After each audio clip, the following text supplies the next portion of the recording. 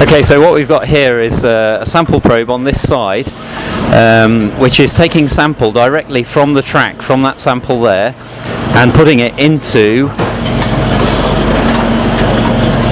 the ion selective electrode.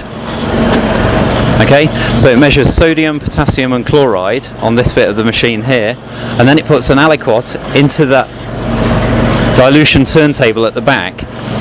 It makes a dilution of that sample with saline, uh, 1 in 5 dilution, and then it takes separate aliquots from the dilution turntable and puts those into a sample turntable there. You can see the probe is moving that sample to the sample turntable.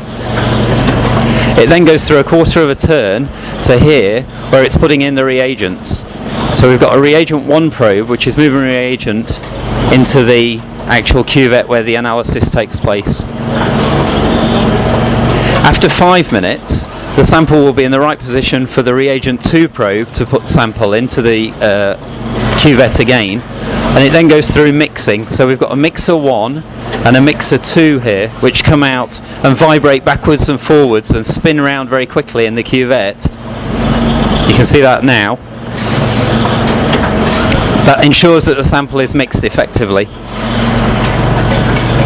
and constantly throughout the time of the 10 minutes that the, the assay will take the lamp here has a spectrophotometer on the other side inside of the ring which will constantly be taking readings absorbance readings and these can be used to produce the result for the uh, individual assay.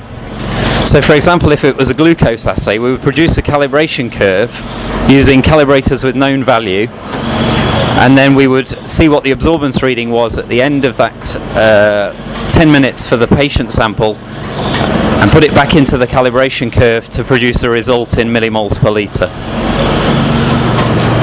After each cuvette's used, at the end of its 10 minutes, it's washed very carefully. So this is a wash station which is cleaning cuvettes. They get an acid and an alkaline wash, and then a water wash, and then they're hoovered out very carefully so that the cuvette is clean and dry before it's used again. And it actually shines a light through that cuvette to check that it's clean.